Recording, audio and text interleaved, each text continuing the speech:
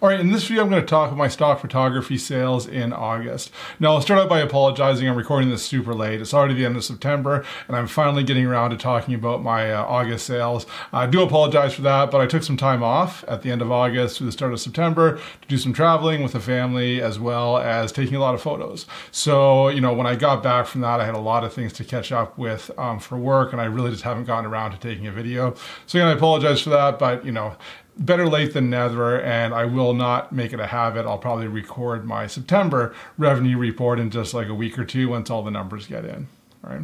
So let's get into it and we'll take a look at how my photos sold in August.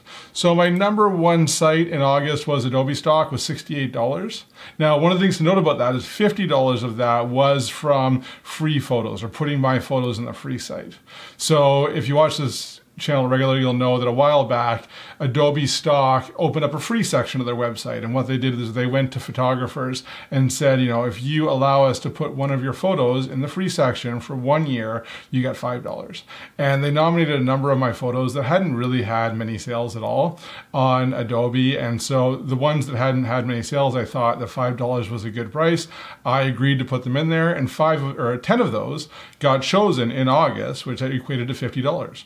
So it's kind of crazy that I've got a couple hundred photos for sale on Adobe stock, and those gave me $18. However, for 10 photos that I gave away for free or put in the free section for one year, it gave me $50. And that was made at the highest site for the month.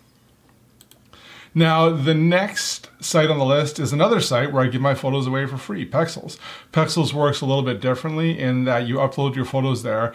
Anybody can download them for free, but when they download them, they get popped up with a little donate button. And, you know, eight people click that donate button and equated to $33 in August. So it's kind of interesting that if you look at the top two sites, and this has really been a trend for a while now, is that especially for the type of photography that I do, which is like travel landscape photography, I tend to get as much or more money on the sites that give my photos away for free as I do selling them as stock.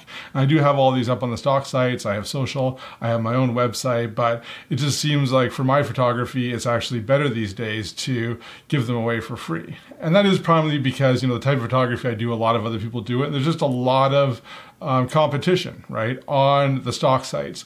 Everybody's putting them out there. There's less competition on these free sites. Why less people agreed to put their their photos on the Adobe stock. Less people are putting them on Pexels. So it allows me to make more, and you know, more revenue from them.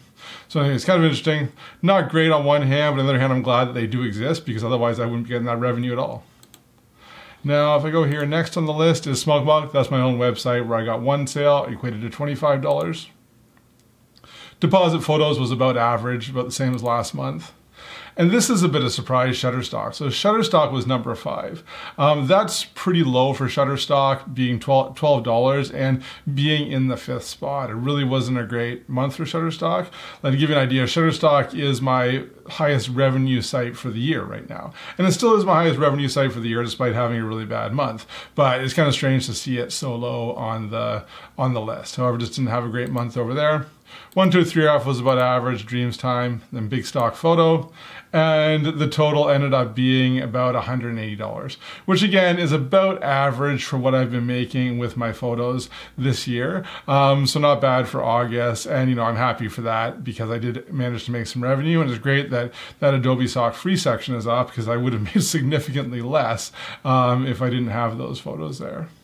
So anyways, I'm gonna keep it quick for this month. Again, apologize for being late. I will do another one of these videos in a couple weeks where I'll go over my September sales and I'll talk a bit more about uh, the NFT project that I'm working on, which is one of the reasons I've been so busy, but it's gonna be great. We're really working hard to, you know, figure out some really good ways to help photographers make money with NFTs um, so they can also make more income off that. And I'm really hoping that, you know, maybe, you know, hopefully we're going to get that done later this year. And then in 2022, do you know what I mean? I'll have another section of this list where I can talk about how much money I'm making from my photos as NFTs. Anyways, if any of that interests you, make sure you subscribe. If you like this, um, give it a like and best of luck selling your photos online.